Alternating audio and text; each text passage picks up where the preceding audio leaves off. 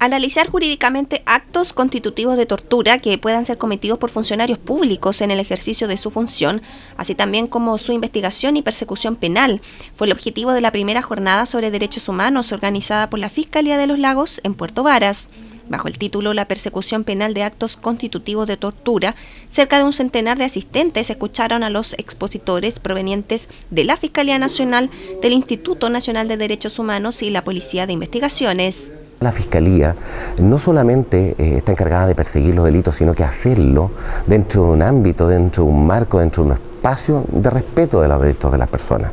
Y, y, esa, y ese, em, esa función pública que cumplimos todos los días fiscales y funcionarios, que determina no solamente el relevar también la dignidad de la víctima en muchos casos, y sus derechos fundamentales, sino que también los derechos fundamentales del justiciable, del imputado. Eso se revela, se devela a través de una serie de actuaciones procesales y de decisiones que toma la Fiscalía todos los días. Punto común en las exposiciones eh, fueron los desafíos que plantea la actual legislación, que abarca situaciones como detenciones ilegales, apremios ilegítimos o abusos contra particulares. Asimismo, se precisó que los actos constitutivos de tortura no están únicamente vinculados a los abusos cometidos por parte de organismos del Estado hasta 1990, y es que en el marco del nuevo sistema de justicia penal se han dictado 345 sentencias vinculadas a delitos de derechos humanos, de las cuales 201 han sido condenatorias y 153 absolutorias. Desde el trabajo conjunto que desarrollamos con, la Fiscalía Regional en este y otros temas,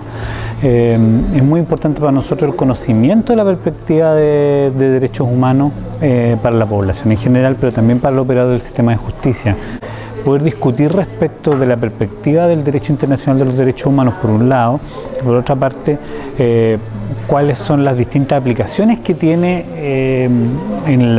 el trabajo cotidiano de todas estas instituciones el concepto de tortura y todas las adecuaciones que este va a tener en el marco interno durante el próximo tiempo. Cabe señalar que esta jornada forma parte del programa de capacitación de fiscales y funcionarios de la Fiscalía Regional de los Lagos.